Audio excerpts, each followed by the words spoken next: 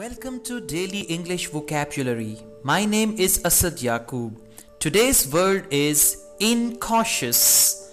I N C A U T I O U S.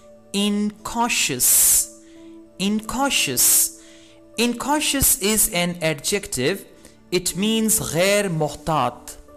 Now let's use incautious in a sentence. Incautious driving causes accidents गैर मोहतात driving हादसा का सबब बनती है।